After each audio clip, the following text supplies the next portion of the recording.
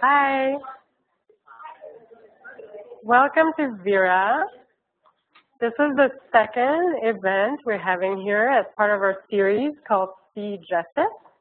Uh, and I'm really excited to be here. My name is Mathilde Glenn. I'm a senior program associate here at Vera. I work out of the New Orleans office. And so I'm particularly excited about today's talk because we're going to explore the intersection between criminal justice and art. And that's something that we've been doing a lot of thinking about in our New Orleans office. I'll tell you the reason why very briefly. Um, in New Orleans, it's first, uh, New Orleans has one of the highest incarceration rates in this country. Uh, we put more people in jail than almost any other city. Um, and a lot of our work is focused on that. And so a new jail was built in New Orleans after Hurricane Katrina, and it was supposed to be a three-building complex. And there has been a lot of work done to try to limit the number of beds that are built, because we know that if these beds are built, they're going to be filled. And if those beds are filled, then we can't work on reducing the use of incarceration, reducing the use of jail. So we've been thinking a lot about those two buildings that have already been built and the space in the middle that's right now is empty, but is meant to be another building to incarcerate people. And we've been thinking about how to reclaim this space and how to use art to do that. So that's why I'm so interested in this talk because I think Mark's work is so connected to that um, and it's really resonating with our work in New Orleans. So Mark Strandquist, who is our speaker today, um, is an artist, but is also an agent of change. And in, in all the work he's doing, uh, working with various people from kids who are going through the criminal justice system, police officers, community groups, lawyers. Um, he's really using his art to bring people together, encourage them to have conversations, and at the end of the day, to really change practices in our criminal justice system. And that's actually the work we do at Vera, right? So we might not use art, we might use research and technical assistance, then at the end of the day, our goals are still aligned.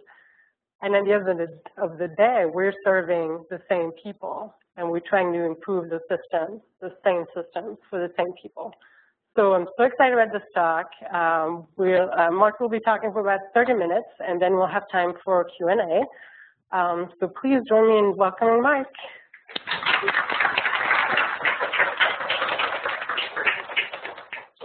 Good afternoon, everybody. Thanks for having me. Um, so more than anything, what I'm going to talk about is not how art can save the world or why, you know, any of these things, but how there are certain strategies and tactics that myself and many others are using around the country um, to connect those most affected by the criminal justice system with those in power to make changes um, to that system.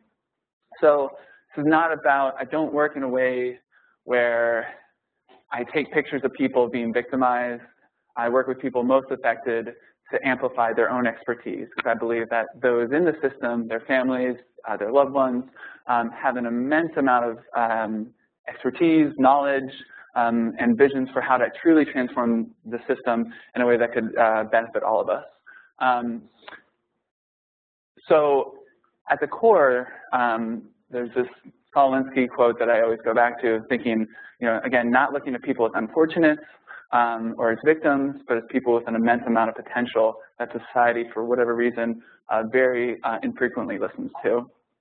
Um, when I was an undergraduate three years ago uh, at Virginia Commonwealth University, I started a project called Windows from Prison, where basically I was going into um, uh, Richmond City Jail, doing workshops with men and women there um, to create images with words, and I'll explain what that looks like in a second. But Angela Davis, in her book, Are Prisons Obsolete, I think this quote is, is, is, a call to action for almost all of my work um, in that she's saying that not only do prisons function in a way that make huge portions of our society invisible to a, a, to a large part of society, but importantly, by sweeping people under the rug, um, they make the social issues, the systemic issues that you all are always talking about um, invisible as well. So with my work, how can I not only work with people most affected to tell their own stories and to bring those stories into places where they've either been silenced or excluded, whether those are schools or police departments or museums or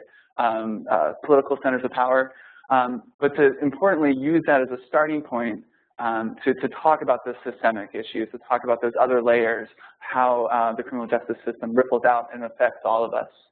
Um, so Windows in Prison began with a simple question. If you had a window in your cell, what place from your past would look out to?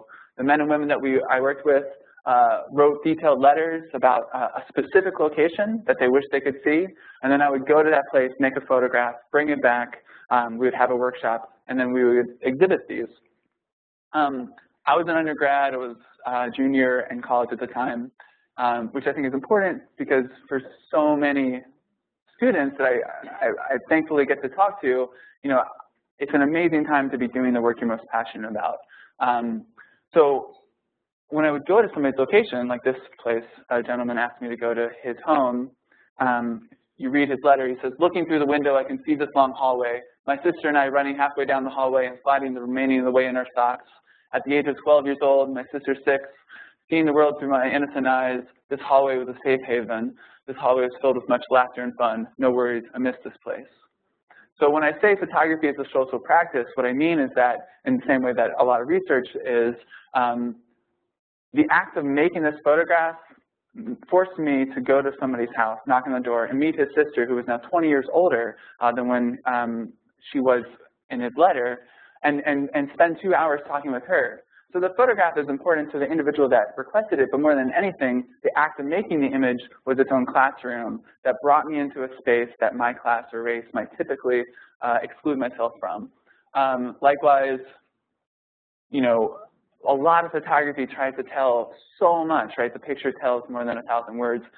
This project tries to do the opposite.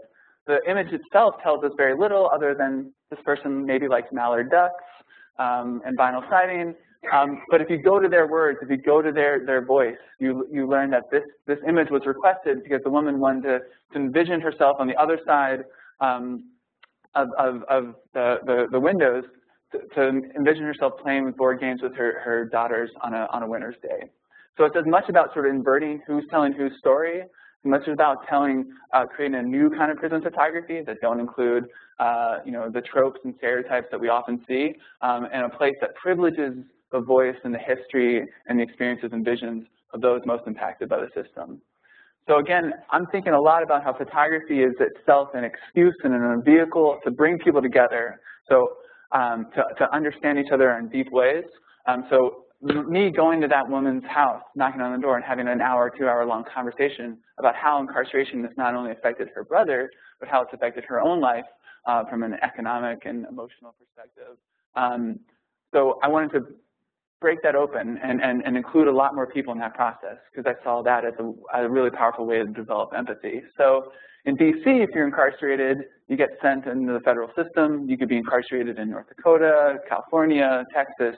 And if you're like most people that are incarcerated from DC from a lower socioeconomic background, the odds of going, um, the odds of seeing your family, your loved ones, your friends for a day, for years, for decades, um, without touch, without a hug, without a kiss, uh, it's incredibly barbaric to me. Um, so we worked with high school students to write letters to people who are from DC but incarcerated all over the country um, and asked them the same question, and then went all over the city to make these images, mailed them back, and then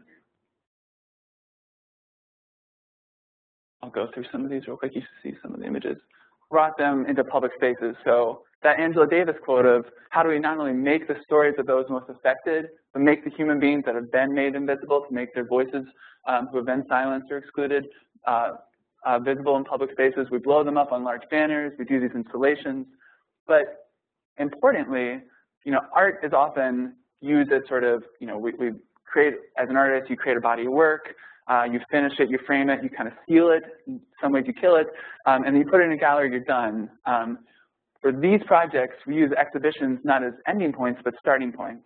as stages to bring lots of people together um, from policy experts to formerly incarcerated individuals uh, to use the exhibition as a stage to, to have workshops, to have events. Um, in this case, uh, this was uh, from an exhibit at a, at a, uh, a university. Um, for six months, we worked with different departments. We had women's studies students doing research on the impact of incarceration on women. They gave that research to art students who then turned them into these beautiful uh, books that were passed out in hundreds, uh, finding ways to, to, to, to, work with students to make their expertise um, really tangible. And, and we took prison bed sheets, pulped them in blenders, and, and turned them into a giant sheet of paper, and then uh, created a, we geolocated every jail or prison um, in the US, which looks like a horrifying Verizon map. Um, so finding ways to, to, to, use the exhibit as a, as, a, as sort of a catalyst to bring all these different departments, you know, hundreds of students helped make this exhibit happen. Um, we had lots of programming, showed films uh, about, you know, in this case, women who had defended themselves against, um, against sexual violence and who were incarcerated for defending themselves, films Sin and Silence. Um, but importantly, then had women who had had that experience themselves come and speak about their own experiences. So always finding ways where people most affected are the stewards of their own story. Um, you know, you can see literally how the exhibit creates a stage for other events. Here we had formerly incarcerated individuals from Free Minds Book Club, an awesome group in DC, speak about what it's like to um, be in solitary confinement, what it's like to be thousands of miles away from your family or friends for years. Um, you know, artists work in galleries often or museums. Those spaces, like policy uh, sort of spaces, are self-selecting. Not everybody's going to read your brief. Not everybody's going to go to a gallery. So how do we find ways to get out of those spaces? Uh, newspapers like the one that is up here um, is one way in which we disseminate um, uh, the work that we create into schools, into uh, political centers of power, um, all sorts of places. Um, we did a recent version of Windows in Prison at the New School here in New York, uh, where we worked with women at Rikers, um, and then created these sort of mobile classrooms where um, each team uh, that was creating an image for a woman that was incarcerated at Rikers um, had a formerly incarcerated individual, a professional photographer, a professional journalist, a policy reform advocate, and a, a variety of students. And so they worked together to go from the new school to uh, various locations around the city to create an image requested by a woman at Rikers. Um, but importantly, along the way, they're interviewing people about uh, the root causes of incarceration. They're sharing their own experiences and perspectives. You can see how the process of making the photograph is this mobile classroom that can bring in all these different voices and perspectives. And then exhibiting those together. So you have the images that they created and the letters written by the women at Rikers, but also the messages written by all the participants. We flipped the prompt. We worked with a uh, the Group Philadelphia FIGHT, which is an uh, HIV advocacy group in um, uh, Philadelphia, uh, to send 5,000 blank postcards to prisoners across the country, asking if you could create a window in the prison walls, what would you want the world to see? This is a project that basically cost uh, $30 uh, to, to print a bunch of blank postcards, and hundreds of prisoners around the U.S. participated. You know, this is about asking them to be photographers where cameras can often, or can, can rarely, if ever, go. You know, if you could, could create a window in the prison walls, what would you want us to see? So they created images and they wrote captions on the back. Um, PBS did a, a, thing on this. So again, something that was so simple in, in, some ways can get, you know, can, can have a huge impact. And, and, and that, that tiny piece of paper can be weighted with so much. Um, Performing Statistics, which is a new initiative I, I helped direct and started a, a, year and a half ago. Um, you know, Windows in Prison I began in college, and been all over the U.S. It's been we've done versions in Canada and elsewhere, um, and it's connected with thousands of people, uh, connected the stories and the voices of those incarcerated with thousands of people around the U.S. But it was always more about an um, almost like trying to create a educational experience that could develop empathy and share stories where they had been, you know, uh, silenced. Um, and a couple years ago, the Sentencing Project put out a report to the United Nations saying that unless things radically change, one of every three black men and one of every six Latino and one of every six, 16 white men will be incarcerated in their lives. And that statistic was so jarring um, that I felt like education was not enough, that you know, if I'm going to try to engage and use my whatever skill sets I have to try to engage these issues, that it needed to go beyond that. Um, but that, importantly, those statistics, while jarring, were also leaving out the human beings um, that, that were wrapped up in that system. And so performing statistics started as a, with, not, not with a. Um, I don't do art to communities. I, I propose questions and then work with, uh, in this case, dozens of, of community organizations um, and partners to help answer those. Um, often artists come in, they helicopter in, and they do a project and leave. Um, this was about developing um, and has, uh, I think, been very effective at developing across sort of network of, of partners from police departments to abolitionist groups and, and everything in between and beyond. Um, so how would criminal justice reform differ if it was led by incarcerated youth? And then how could socially engaged artists, educators, and Virginia's leading policy advocates support and ensure the success of the youth division for a more just society? So I'm just, I love Paulo Freire. He's like my hero. Um, I love this quote of no pedagogy and I believe no art form of advocacy can be truly liberated um, while it remains distant from the oppressed by treating them as unfortunates. Um, so much of this work is about listening, it's about amplifying, it's about being megaphones for people who have, um, I think, been so silenced by the system and who have so much to offer. And that the process of that is then not only, you know, challenging those narratives and challenging those stereotypes, but helping people develop their own ability to be transformative agents. So for this last summer, um, Performing Statistics, which is, again, a plug if you haven't gotten one, the beautiful newspaper up front, um, for eight weeks, uh, we were able to work with a group of youth who were able to leave their detention center. Um, they were able to wear their own clothes. There were no guards in the room. We're, if we're going to talk about alternatives to incarceration, how can we also be modeling what we're advocating for? So the, the project itself is a diversion program. Um, every week, the youth worked with different artists to learn different skill sets from photography and silkscreen to going to radio um, uh, stations to record uh, public services announcements about what they wish people knew about uh, incarcerated youth. Those uh, radio pieces are actually available in your newspaper. Uh, you can call a phone number with any kind of phone and hear the youth speak directly to you. Um, the photography projects, sorry the slides are not super um, visible. But, but importantly, every week they were also working with um, the top legal advocates from Legal Aid Justice Center, the Just Children program there. So the youth were learning about um, you know, the criminal justice system, and then they were also simultaneously learning different creative skills. And so combining their personal experiences, this new uh, statistical and criminal justice knowledge with these creative skill sets, combining those to make these really powerful media campaigns. And again, this is not art that ends in a wall. It's art that's been being created to be deployed by communities. So posters and T-shirts that have been, you know, worn and held by thousands. Um, you know, the exhibitions are all very active where we're, we're still screening the, the work that the youth made, uh, we're disseminating information. The statistical context is, is, is always present, um, so it's very research heavy. Um, the center of the exhibit was a to scale model of a jail cell, six by eight by eight, where the youth had wood burn carved messages into the floorboards. Um, and the bars that you can see here, we became sort of this community think tank we are asking people to add their own responses to the question, what can we do to create a world where no youth are locked up?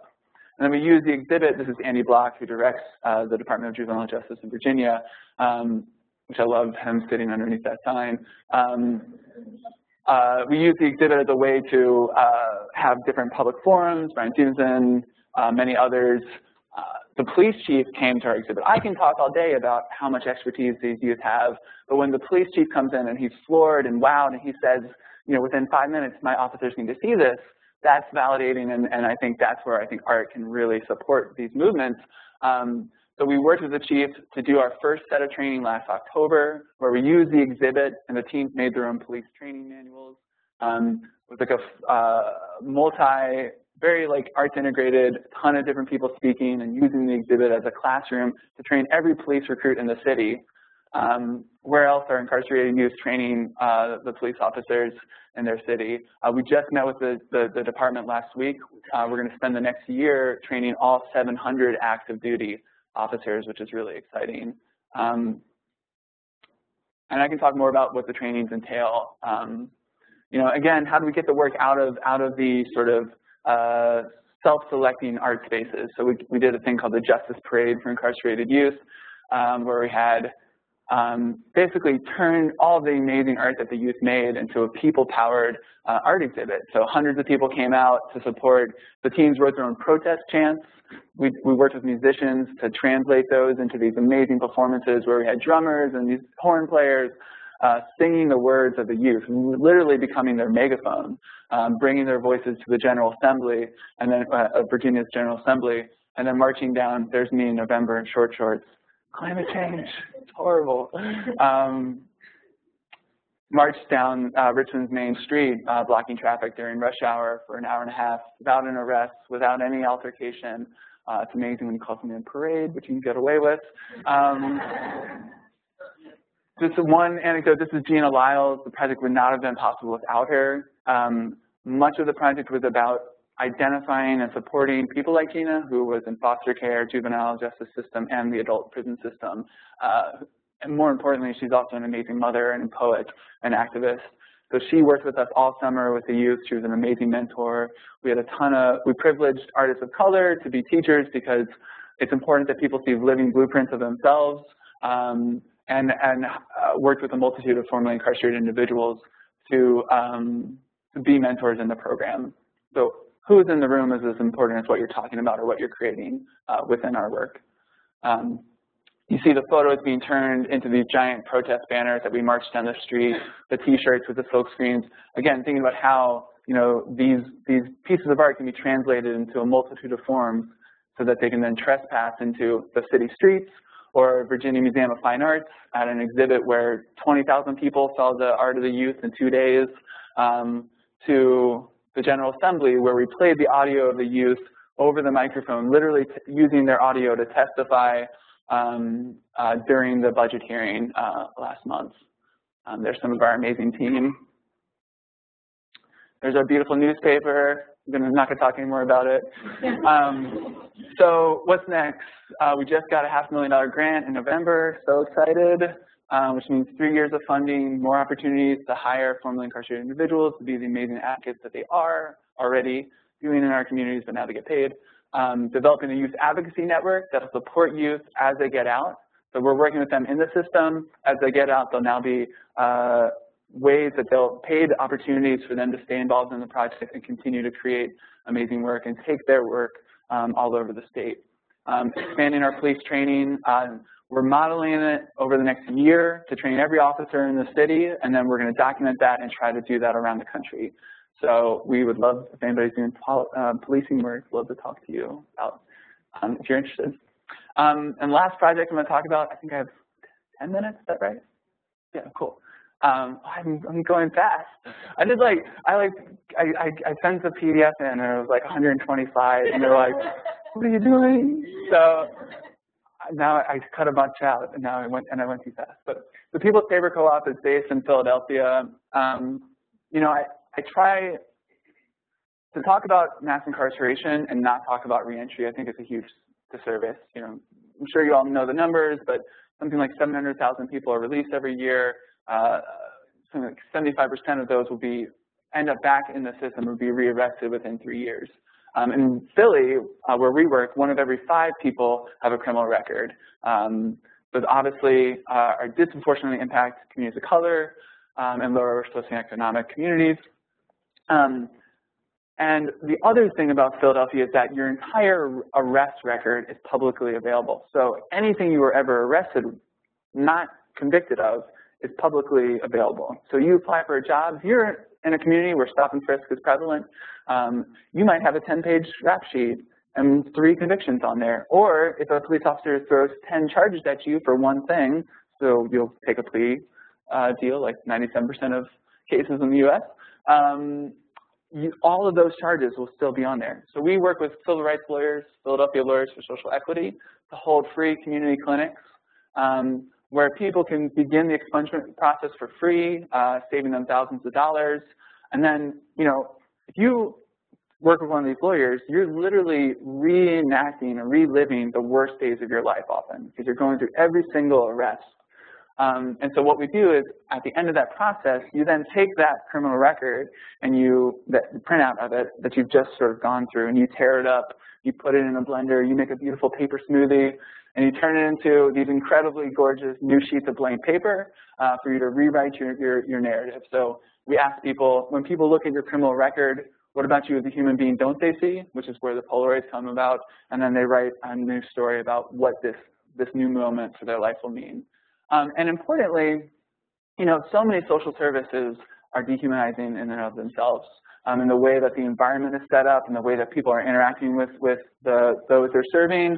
And so we work with the lawyers to transform that experience into a space that's an organizing space uh, where the our sort of co-op, which is a group of formerly incarcerated individuals that helps produce the project, we're facilitating a bunch of different interactions um, this year, for instance, we're using um, the clinic space, which there's a waiting room. Um, people often wait like 30 minutes to an hour before working with a lawyer uh, to work with people to rewrite their own, rewrite the expungement law. So again, looking at people most affected uh, to, to come up with solutions to these systemic issues. Um, these are just some of the paper quilt pieces um, from people's criminal records that they've created. Uh, we're creating a giant paper quilt of that that's going to be brought to Harrisburg, Pennsylvania, the state capital, for a big event in about a year.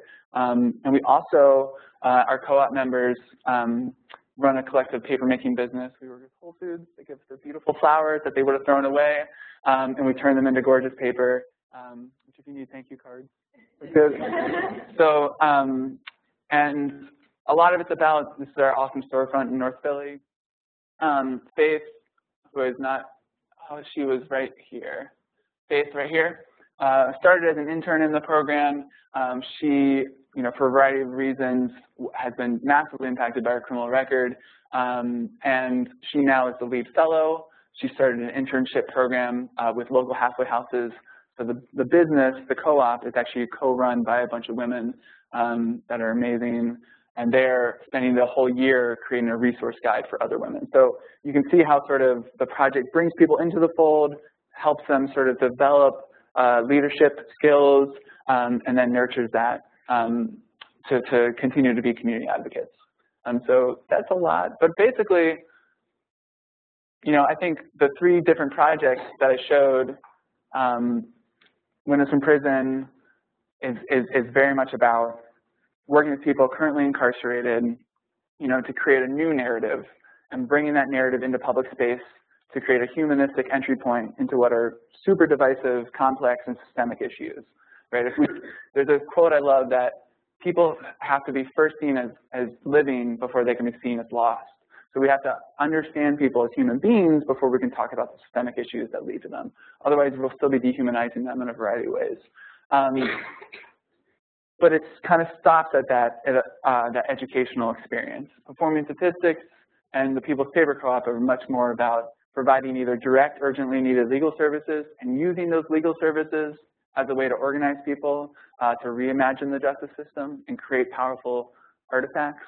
Um, and performing statistics, again, is about looking to people most affected to be community advocates and using art to connect their voices with people in power. Um, that was a whole lot of images. I'm going to stop talking and just if you have any questions.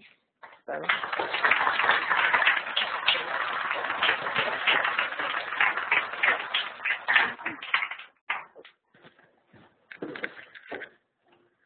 Does anyone have any questions?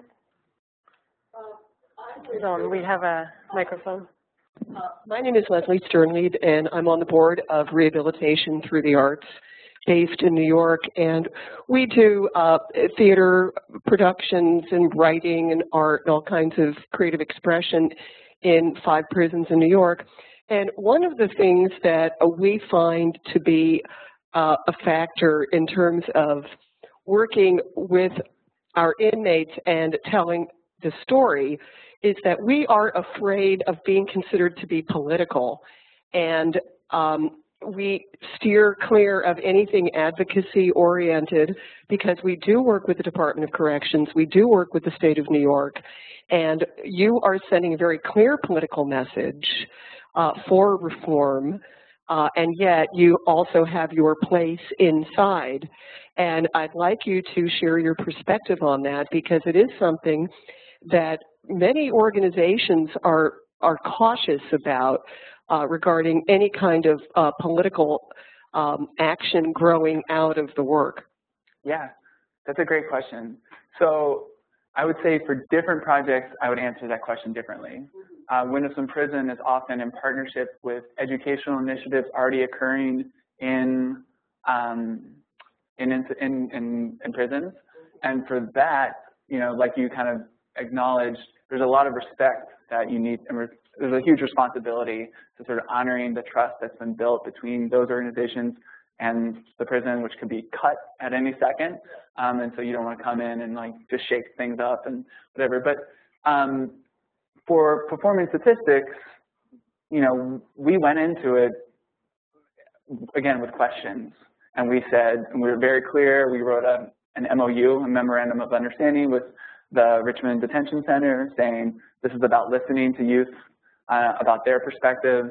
Um, we're not going to censor or silence any of those. Um, and they were okay with that. And I also think that, you know, because of, I think that, you know, would two years ago this project have been possible? Maybe not. I think like, would the police chief agree to allow incarcerated youth in an exhibit um, run by, uh, you know, advocates and artists, uh, train all of his officers um, and publicly support that? No, I think that's a lot. A lot of that has to do with the, the climate that's been pushed by activists all over the, the country. Um, so I think part of it is sort of the context that we're in, and then part of it is being clear, um, you know, and, and, identifying shared goals. It's in the best interest of the police department um, to to better relationships with with the community that that they're in, um, and so we're trying to find a way to do that in, in, in a in a, a way that's actually effective. Um, but I think just being clear and upfront. And if, also, I think if I went in saying I'm going to make a film about how messed up uh, the criminal justice system is, the, the, department would immediately shut that down, obviously. But there's something that uh, you can kind of you can art. It's it's it's, oh, it's just art, you know. Like I think it, you can kind of trespass a little. So I don't know if that helped answer.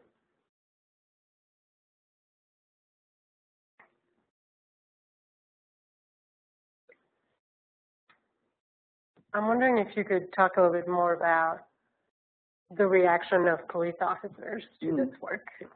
Yeah. So, oh, did you want me to? I can. Well, my question, my question was similar. So I'm Ashley Jackson with LISC, um, and a lot of the work that we do is sort of reclamation of properties. And so I'm co-signing your perspective on doing things with the community in terms of to, because when you do it to, that's not a recipe for sustainable change. Um, so my question definitely was connected to hers is I'd imagine you didn't go into, you know, the criminal justice system in Virginia and people were like, yes, like on the law enforcement side, yes, we definitely want, you know, the youth to work with us and, you know, inform training among the police force. What were those early conversations like with law enforcement and how did you develop buy-in and um, support from them, especially yeah. since tensions are high and, and um, they're they're dramatic across the country, not just in Virginia, but across yeah. the nation. So first, thank you for that. And you said LISC? Yes. LISC, uh, you should look up what does transformation look like on your alt national page because they just did a People's Paper Co-op feature with Faith and she looks amazing. So LISC is awesome. There, yeah, um, so great question. So basically, you know, you're seeing 20 slides from performance statistics. That's a two and a half year long organizing project that took a lot of relationship building, like you're saying.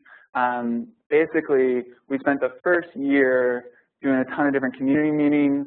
You know, again, starting with questions, not answers, starting with uh, sort of a basic idea with not a preconceived, um, sort of fully, fully realized project. And I think that helped not only allow for people like the police department and advocates and others uh, to find a place within it, you know, where they felt like this was their own um, and, and uh, had room within it to make it their own. Um, but we held a lot of community forums, and in those, we're very strategic about asking certain questions. So, for instance, Virginia, the Center for Public Integrity last year released a report saying that Virginia sends more youth to law enforcement than any state in the country. So off the bat, that made everybody, especially Richmond's the second worst county in the state uh, for referrals, school-based referrals. So the police department had to answer that. So there's this climate of like, there's shit, oh, excuse me, stuff is really messed up, um, we need to fix it. And then all of a sudden there's this community forum about police, community relationships, and that gave us a way to kind of call the police off, police chief out on that and also be like, oh, and we're doing this program with youth, they're going to create their own police training manual. And in a public stage, the chief said, I want to be part of that. And not only was that exciting, we created, which is to say that it didn't start from an antagonistic perspective. It started from a place of welcoming um, input, welcoming uh, ideas, and, and, and partnership. And I think that was, that was key. Um, and also then using that sort of public stage to call them on that and be like, you know, like two months ago you said you were going to do this, and we're doing it. So, and it, then he came in, and, and also at the end of the day, I think this, the work spoke for itself. If, if he had come in and it was just a clunky bunch of whatever, the, the training manuals the teams made are incredibly powerful. The art that they made is just mind-blowing to me. Um, so I think there's a lot of answers to that question, but it was a long process of um, conversation, community building, and not not being explicit maybe about politics ahead of time and being welcoming uh, to, to those non-traditional partnerships. Um, does that answer?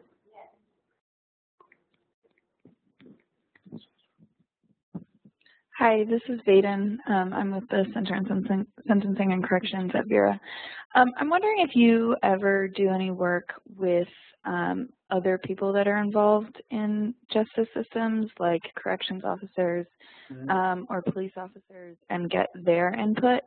Um, I'm mostly worried, uh, wondering about that because um, I think they often feel ignored when reform movements come in, um, and and that can make change really difficult. Yeah, yeah. Usually the or unions, um, all kinds of things. So um, I'm pro-union. I just meant like uh, correctional officer unions. Um, so yes, I have a bunch. Um, I just didn't show everything. So uh, in Ottawa, I did a project essentially through the U.S. Embassy um, with a group of uh, incarcerated youth there uh, where we created these amazing photographs. And the facility we were working in, there were strict rules about um, the youth uh, not being able to touch each other, not being able to touch their teacher, so no hugs, no anything, no high fives. Um, and over the course of two weeks, we did these photo and video projects that are really amazing, and I wish I could show them, um, but I don't have them. And what was important was that the guards, who are called youth workers, um, language is a powerful tool, um, they helped their teachers, the youth, and the guards all work together to co create the images. And so the, when I say, you know, the act of the photograph is its own classroom, the teachers and the, and the guards afterwards told me that they learned more about the humanity, about the history, about the struggles and dreams of the youth that they're working with in a week of making these photographs together, where they're, they, they're, we were able to touch, where we were able to create these images together um, than they had in six months. Um, so absolutely, uh, I do think that incarceration is a, an implicitly violent space that affects all, including um, you know those that are working in them, uh, their families, the local economies, all kinds of things. So um, the police training we're doing in a couple months, that'll be the first wave of the 700 officers we're training. Um, it's going to be a few days of training and then a big community forum where we share what we learned. And a lot of the training is also focused on the police officers telling their story, answering questions like, what do you wish people knew about your experience on the force or whatever. So absolutely, it, can't be a one-way conversation, which I think goes to the question you asked earlier. If you come in, you know, you just, the lines of communication have to be open. And I think art, to me, creates a really powerful stage to have that. Um, and a seemingly depoliticized stage that actually I think is hyper-political. That um, does anyone have a question who's watching on WebEx? That would be a great time.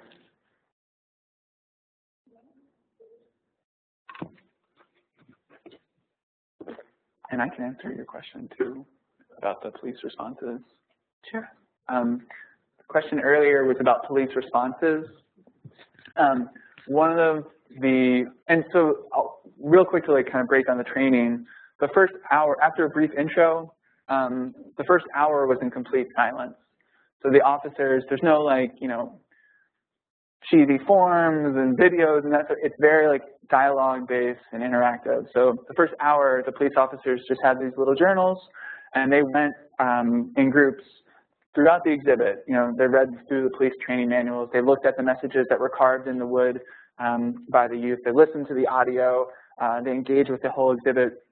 Throughout the whole thing, it's silent and they're just reflecting in their journals and then they came back together, had a dialogue about what they saw, what, what patterns, what, what personal experiences.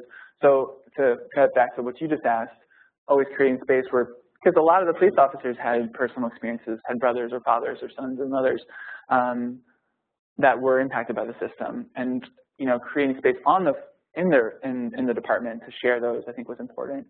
Um, and then after that brief, or that first hour and a half, we had a family member who had um, had a son that was in the system uh, speak about her uh, experiences.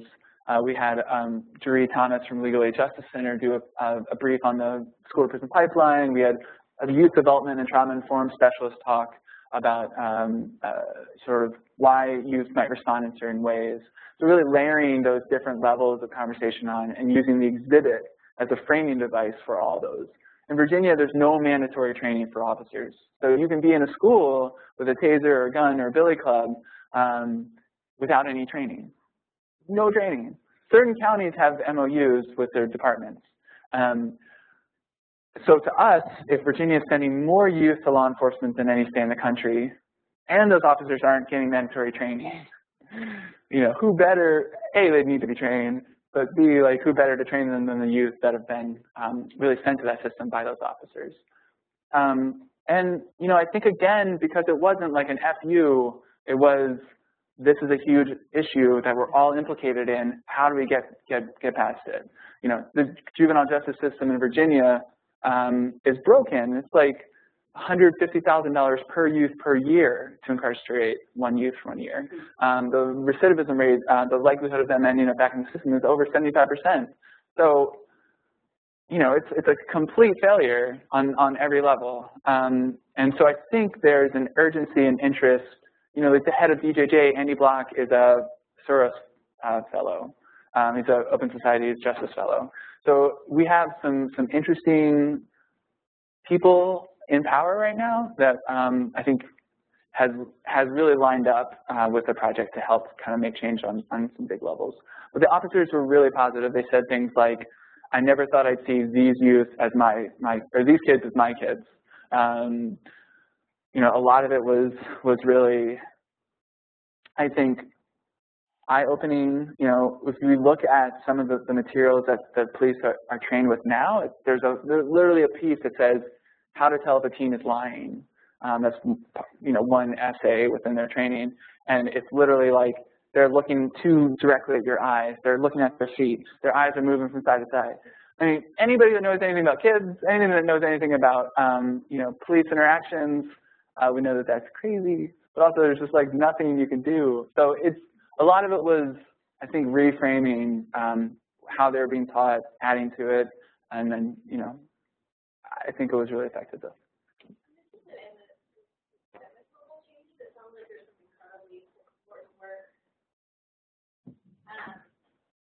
I'm interested in the systemic level changes and that there's incredibly important work here around changing fundamental narratives about who is incarcerated and what those stories are and and and which brings up questions about what's just or not. But then um, translating into larger policy or translate, translating those narratives up the chain, yeah. um, and also how that interacts and how your work interacts with the Movement for Black Lives. It's putting forth a lot of specific demands or policy suggestions across the country, um, some localized, some more national. Yeah. Can you just talk about that? Yeah, so we're part of an awesome group called Rise for Youth, um, which is a statewide in Virginia coalition of, you know, a variety of advocacy groups, direct service providers, and governmental agencies. And so as part of that, they are putting forth legislative platforms and policy reforms. And so we have done things like the Justice Parade or the museum exhibit where 20,000 some people went in two days, um, or these other large scale public moments. The, the exhibit is currently touring, touring all over the state, um, and everywhere it goes, RISE, we partner with RISE to sort of present some of those policy initiatives and getting them to, um, which are informed also, it's recursive because those policy initiatives are informed by the youth that we're working with, and then RISE sort of has already developed the relationships with those in power to get those ideas and others um, to those voices, to those places. Um, so part of it is developing the relationships with groups like that to ensure that we can get our materials um, into those, into like the General Assembly or elsewhere. We just had a youth lobby day um, a week ago where the newspaper and other materials that we've created were used uh, to directly engage with uh, legislators. Uh, we've done things like um, the budget hearing where we played the audio recordings over the microphone. And we know that, you know, I mean, I, am I, you guys are the experts. I mean, I'm not like, I think I have skill sets, but I don't want to presume that I can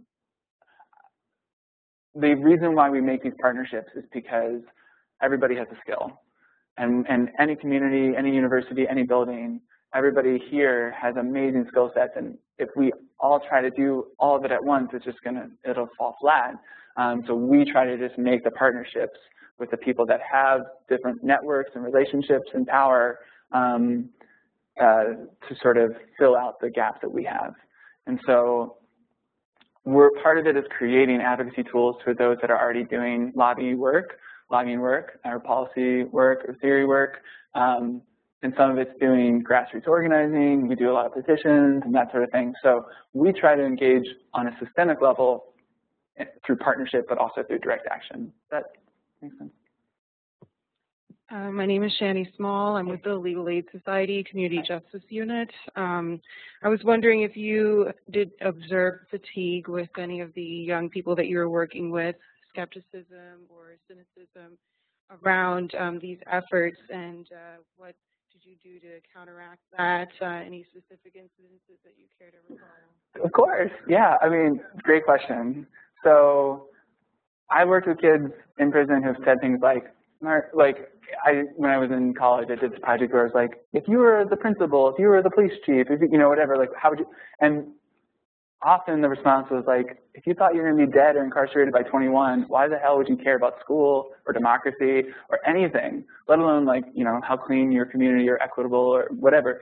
Um, and so, can an art project replace you know 18 years or 15 years of like constant bombardment of like negative media and negative sort of messages? No. Um, but can you create an incredibly supportive, peer mentored, adult mentored environment that can chip away at that? Absolutely. So when we said we're going to train every police officer, they're like, no, you're not. They, they don't want to listen to us. Like, of course. I mean, I would, I wouldn't believe that. Um, but I think that, you know, what I would say was so important and what was effective was having people like Gina in the room who had been in the system um, from a very young age, from foster care to adult to adult prison, um, having somebody like Daquan Beaver who works for Legal Aid Justice Center as a community organizer who was incarcerated as a youth for seven years there every week.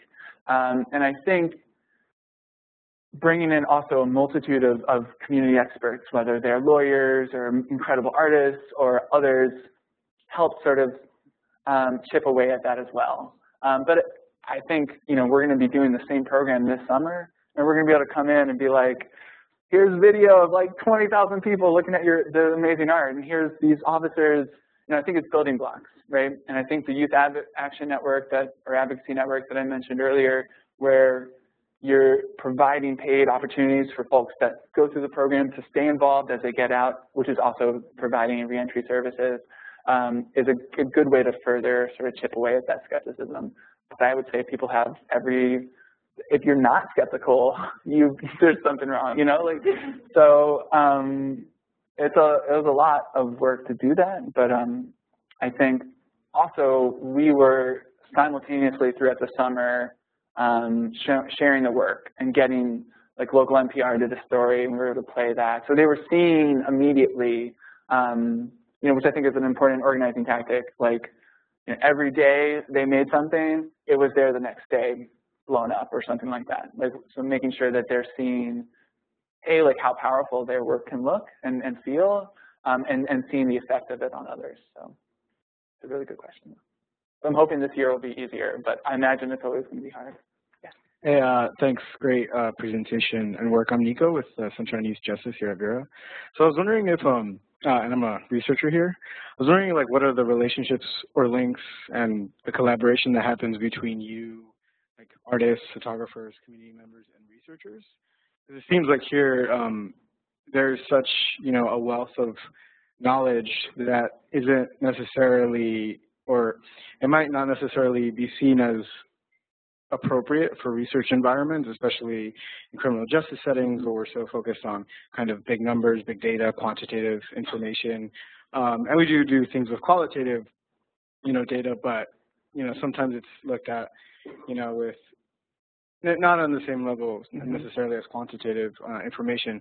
So I was wondering if like if, if there are any kind of collaborations or relationships created in like in regards to training, in regards to like, having researchers think outside of the box when it comes to like, you know, understanding these environments and especially like how, you know, you interact with those. We're trying to have like a more fundamental understanding of when it comes to the criminal justice system. Yeah, so 2000%. Like we, in the trainings, the trainings really happen, I think, in part because of research like that which was done to create the Center for Public Integrity Report. Um, and then, so what, I'm going to try to answer this.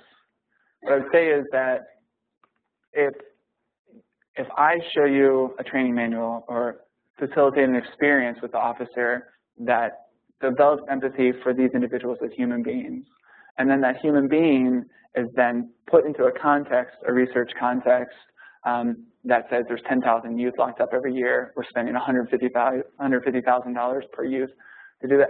All of a sudden, that human being you just encountered becomes magnified exponentially. So I think personally it's not an either or. I think it's horrifying that they're not more commonly used together because I think it's such a powerful combination. Um, and so Legal Aid Justice Center is a team of researchers that they work with. So when we go to the police department, like we did last week for a meeting, we are able to bring a wealth, and they're, they're there with us, um, a wealth of sort of not only statistical data about Richmond referrals uh, to police, but also what are happening around the country. Um, you know, Virginia has a knack for being horrible, but never wanting to be like worse in the country. Um, don't record that one part. But um, so I think like showing, I think there's a lot of interest when you bring up like certain stats and stuff like that. Um, and also uh, alternatives that are working a lot better around the country, um, that that helps them say yes to certain things. But so again, I don't think that in the trainings that we've done, a lot of it's, um, they, they get bombarded with a lot of research too. So it's not just, you know, a happy exhibit that they go into. It's very much like um, we test them on juvenile justice knowledge, which they have they had when we trained them very little of, um, very little understanding of mental health struggles of those in the system. Uh, so it's very integrated. Um, and you know, the newspaper itself has both statistical and um, is that sort of what you're asking? Yeah, I mean, I'm thinking more inversely, maybe. More what? Like the inverse of that, right? You know, you guys collaborating, like going to sort of research institutes yeah. spaces like Vera, and you know, you know, speaking with researchers and thinking about innovative ways of engaging in these spaces, which we might not think of because maybe we're less artistic, but or you know, or like you mentioned, like oh, it's art, so. Yeah. That's not necessarily research yeah. Okay, so that's not necessarily data. Yeah. No, that's not the case, obviously. Like yeah, and also I would say like like the jail cell where people are responding to that question, that becomes its own petition. So we're creating data also through the exhibit. So so I, I guess I'd be happy to be to be speaking to more policy folks. So just just invite me. So um, but, um, I think we're running out of time. I just want to give a reminder, especially to uh, Vera staff, that I really hope we can continue this conversation And so keep thinking about this and opportunities for collaborations uh, because I'll be following up with all of you to think about um, what we can do and how we can incorporate like everything we just heard today into our work. Um, so yeah, keep thinking. And thank you so much, Mark. Thank you.